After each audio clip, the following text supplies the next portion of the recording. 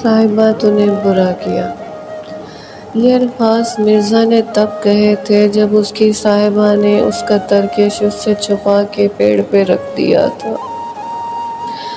और आज तड़प कर यही अल्फाज मैं कह रही हूँ।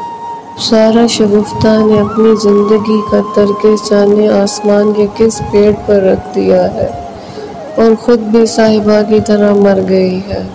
और अपना मिर्ज़ा भी मरवा दिया है। हर दोस्त मिर्ज़ा ही तो होता है। मैं कितने दिनों से भरी आँखों से सारा की वो किताब हाथों में लिए हुए हूँ, जो मैंने ही तो शाया की थी।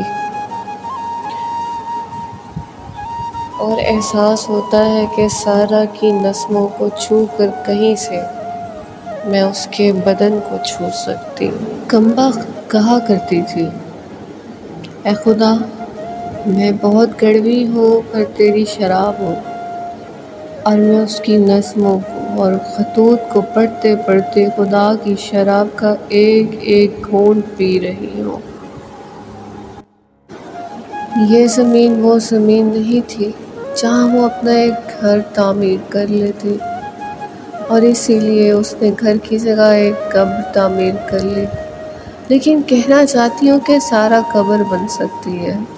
कब्र की खामोशी नहीं बन सकती। दिल वाले लोग जब भी उसकी कब्र के पास जाएँगे, उनके कानों में सारा की आवाज़ सुनाई देगी। मैं तिलावत के लिए इंसानी सहीफ़ा चाहती हूँ। वो तो ज़मीर से भी ज़्यादा जाग चुकी थी। इस दुनिया में जिसके पास भी ज़मीर है, उसके ज़मीर के कान ज़रूर होंगे और वो हमेशा उसकी आवाज़ सुन पाएँगे। मैं तिलावत के लिए इंसानी सहीफ़ा चाहती हूँ।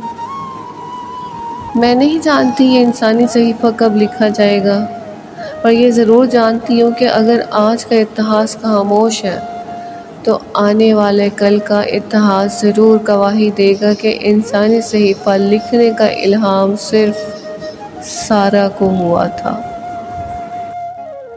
और इतिहास खुद गवाही देगा कि सारा खुद इस इंसानी सहीफ़े की पहली आयत थी। और आज दुनिया के हम सब अदीबों के सामने वो कोरे कागज़ बिछा गई है कि जिस जिस के पास सच मुझ की कलम है, उन्हें इंसानी सहीफ़े की अगली आयतें लिखनी होंगी।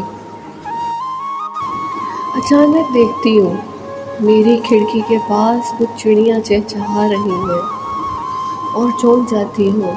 अरे, आज तो सारा का जन्मदिन है। जब उससे पहली मुलाकात हुई थी तो उसने अपने जन्मदिन की बात करते हुए कहा था, पंछियों का चहचहाना ही मेरा जन्मदिन है। सारा देख हम रोज़ में हमारे घर के आँगन की सबसे बड़ी दीवार पर चिड़ियों के साथ घोंसले बना दिए। अब वहाँ चिड़िया, दाना खाने भी आती हैं और लकड़ी के छोटे छोटे सफ़ेद घोंसलों में तिनके रखती हुई। जब छोटे छोटे पंखों से उड़ती, खेलती और चहचहाती हैं तो कायनात में ये आवाज़ गूंज जाती है। आज सारा का जन्मदिन है। मैं दुनिया वालों की बात नहीं करती। इनके हाथों में तो जाने किस किस तरह के हथियार होते हैं। मैं पंछियों की बात करती हूँ और उनकी, जिनके इंसानी जिस्मों में पंछी रूह होती है।